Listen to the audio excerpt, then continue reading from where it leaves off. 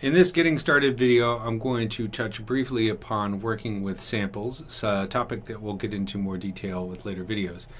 Uh, but if we go into the render settings, I'm going to click on this little arrow, this little arrow icon to open up the kernel settings in the attribute editor. Of course, I'm in the space limo scene again. And uh, this has all the settings related to our kernel. So the kernel determines how the light is calculated in the scene, how it reacts with the surfaces that you see in the scene, as well as overall image quality. The first most important setting that I want to touch upon is this kernel type. So if I switch between direct light, path trace, and PMC, in this particular scene you're not going to see much of a difference, but it really depends on what's going on in the scene. The direct light is the least physically accurate but fastest way to get a nice uh, realistic re render of your scene. Uh, path trace is more physically accurate, uh, but a little bit slower than direct lighting. And then PMC is the most physically accurate, uh, but also the slowest of these three render kernels. So, generally speaking, it's a good idea to start with direct light and adjust the materials in the scene and the lighting. And if you get to a point where your lighting is not looking realistic or your materials are not looking quite right, you can try path tracing. That will generally create a more physically accurate result. If you're working in a scene that has a lot of caustic light patterns through transparent or refractive surfaces or highly reflective surfaces, you may find that PMC will give you the best result, but it is the slowest. And of course, info channel, it just allows you to see things like wireframe and Z depth and ambient occlusion so that you can get sort of information from your scene and how the render is being calculated.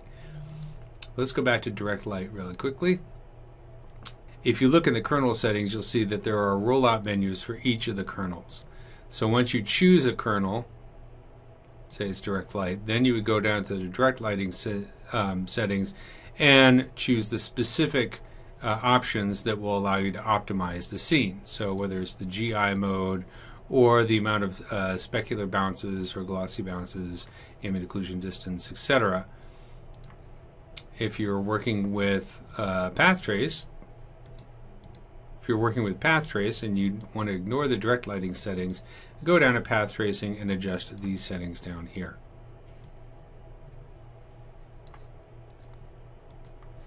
Now the way that Octane works is as the scene renders, it will continue to calculate until it reaches this max sample setting.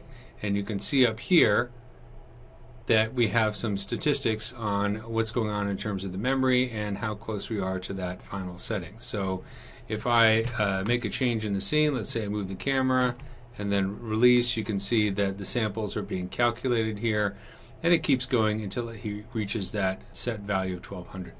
Now the optimal value that you set in your scene is going to change depending on the scene.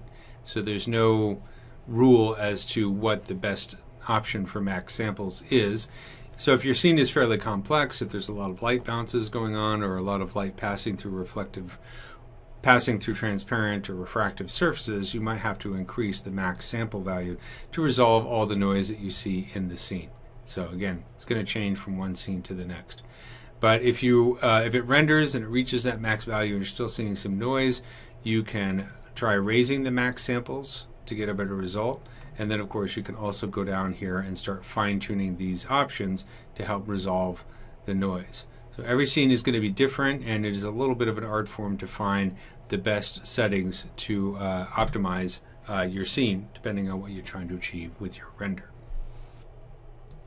Now of course if you set the max samples too high, uh, it's just going to keep calculating until it hits that max sample setting.